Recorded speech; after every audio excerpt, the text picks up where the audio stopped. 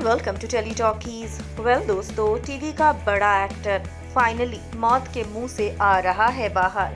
जी हाँ लड़ रहा था ये गंभीर बीमारी से बड़ी जंग। काफ़ी दिनों से या यूँ कहें, महीनों से है ये हॉस्पिटल में एडमिट लेकिन फाइनली अब इसकी जंग हुई है खत्म। और ये वापस आ रहा है अपने घर को।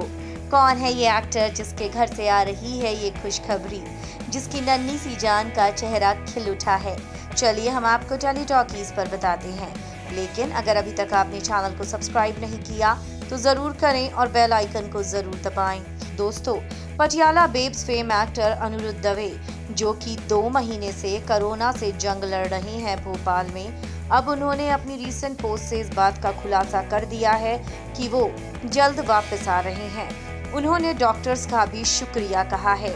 उन्होंने अपनी रीसेंट पोस्ट में लिखा कमिंग बैक सून पहले इनका शुक्रिया। थैंक यू डॉक्टर्स हम कलाकार सिर्फ़ किरदार निभाते हैं। असली हीरो आप हैं। आइए, देते हैं मुबारकबाद उन्हें, जिन्होंने मेरे जैसे हज़ारों को नया जीवन दिया। मेरे जैसे सत्ताईस हज़ार से भी ज़्यादा कोविड के पेशेंट्स को लाइन ऑफ़ ट्रीटमेंट के साथ नई उम्मीद और जीवन की राह दिखाकर ऊर्जा का संचार करते हैं। हिम्मत हारते, सांस गिनते को हिम्मत देते हैं। वो जीत जाता है, ना रात, ना दिन। हर समय एक नए को नई ज़िंदगी का सपना दिखाते हैं। और मेरा सपना सच हुआ। जब चौदह दिन के आईसीयू के बाद महसूस हुआ, मैं हूँ। सलाम है।